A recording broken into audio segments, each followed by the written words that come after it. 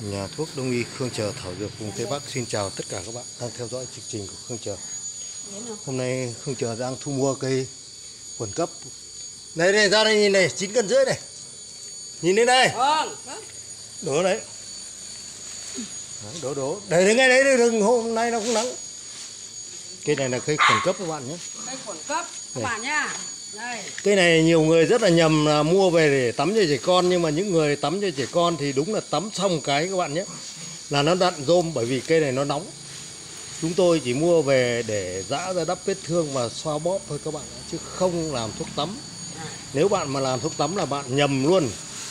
Bây giờ đang rôm mà bạn vò ra tắm phát khỏi luôn nhưng mà ngày mai lại dày dịt luôn. Còn thường thường người ta ăn sống các bạn nhé. Và chúng tôi làm thuốc gan, thuốc khớp. Đấy, đây là cây khuẩn cấp.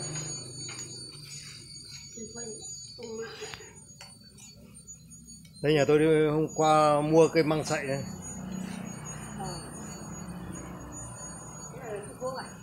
Thế nhìn thế nào? Anh à, vẫn còn. Còn.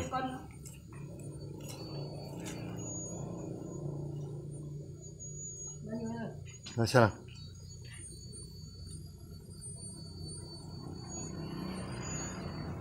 Chưa được, chưa được 9 cân rưỡi cho cho đây mà chị nhìn đây. Vâng.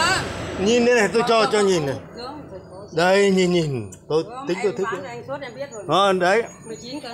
Ừ, 19 cân, Em- em được rồi rồi 20 rồi cân rồi. không rồi. nổi.